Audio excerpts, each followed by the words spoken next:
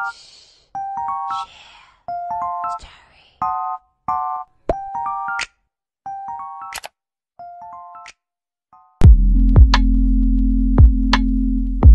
guys, so ang gagawin natin sa first video ko ay tinatawag na 10 to facts about. Kung saan magsasabi ko ng 10 bagay para mas lalo na po. Fact number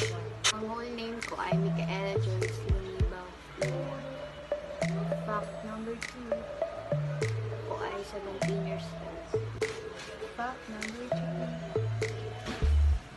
3. Ayoko sa Number 4. Mahilig ako mag-photoshoot sa beach. Fact number 5. Nag-iisa akong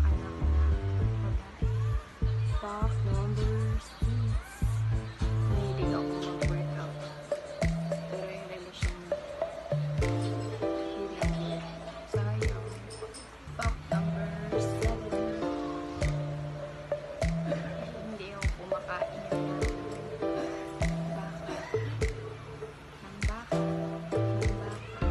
na.